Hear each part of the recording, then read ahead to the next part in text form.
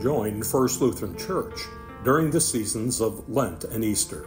Hi, my name is Teresa from First Lutheran Church, Birmingham.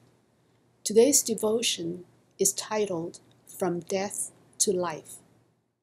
We are going up to Jerusalem, and the Son of Man will be delivered over to the Gentiles to be mocked and flogged and crucified, and he will be raised on the third day.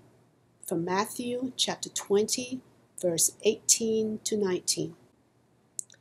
It is said that when asked what he would do if he knew the world was about to end, Martin Luther replied that he would plant a tree. Now I can't say that would be my answer. But if a doctor told me I would die soon, I would ask for more information. How long do I have? Is there nothing to be done? Now consider this.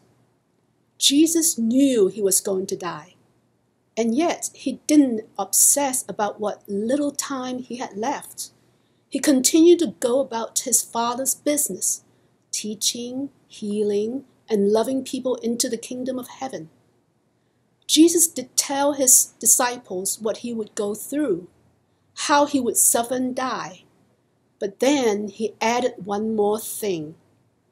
On the third day, I will rise again. And that's the best part. Because Jesus did rise again, we will too. Join me to pray. Dear Lord, help me remember that you are the resurrection and the life for me. Amen.